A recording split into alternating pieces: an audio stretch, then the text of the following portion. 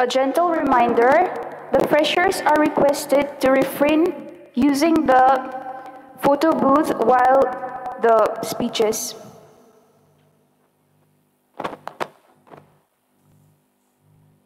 I hope that's clear. The freshers are requested not to use the photo booth during the speeches.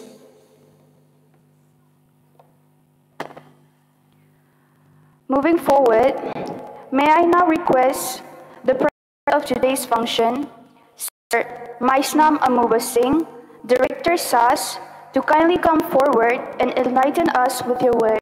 Sir, please.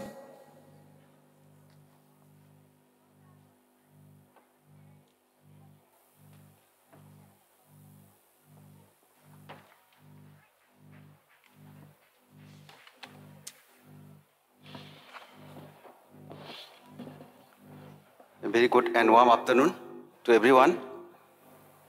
Respected Chairman and MD, Chief Guest of today's function, Professor L. Deven, who is not now here with us. He has left for some works, urgent works. Board of Directors of the DICE, learned faculties, teachers, friends, invitees, and my dear young friends, the students. It is a great pleasure for me to be here with all of you for the Freshers Meet 2023. And as a director of this institute, I welcome all of you to this institute, Shija Academy of Health Sciences. And I must say that you have done a good thing, a right thing, by choosing Sahas to build your medical career. I do not compare our medical college, our medical institute to other colleges elsewhere. But I must say that some of the facilities, some of the areas we have here are quite good and needs to be mentioned, quite appreciable. In fact, I just showed to the special guest, Dr. Devan, some of the, some of the facilities we have, and he was impressed. In spite of so many differences, obstacles, shortcomings, and opposition, we know that our medical institute, Shija Academy of Health Sciences, has been growing steadily. And for this, I would appreciate the hard works of the all teachers, the faculties, residents, all staffs, well supported by the management to bring to this stage.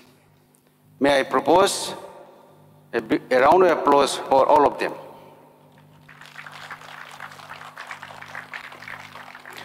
I feel like congratulating the first batch of students especially the Students' Council who have successfully organized such a grand event. And also, I'm happy to know that you have directed them to the right path, in the right direction. And uh, you help us in keeping the campus peaceful and harmony.